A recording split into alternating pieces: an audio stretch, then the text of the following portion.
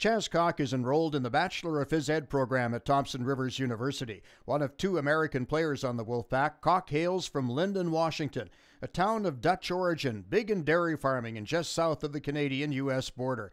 His family has a long history in Lynden and even has a street named after them. Sports are a big deal there, and so it's a lot. You get a lot of you know what you're growing up.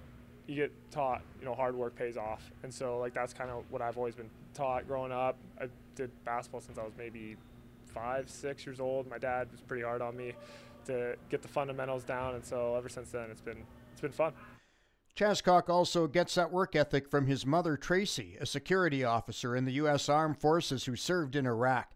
Kok began his post secondary basketball career at Skagit Valley. Two years ago, Scott Clark, then the coach at SFU, convinced him to jump over the border and play for the clan.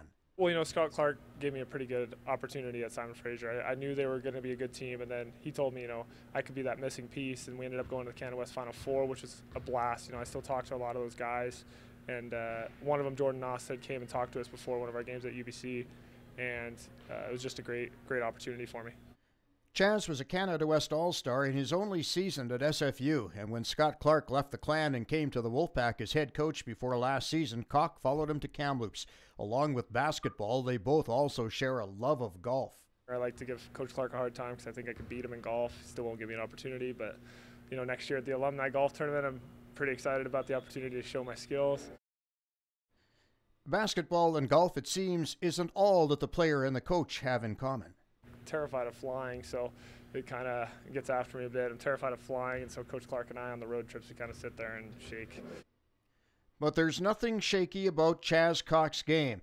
He holds the Wolfpack franchise record for most points in a game with 38 scored against Winnipeg January 7th of 2011. Going into this weekend, Chas Kok is the leading scorer in Canada West, averaging 26 points a game.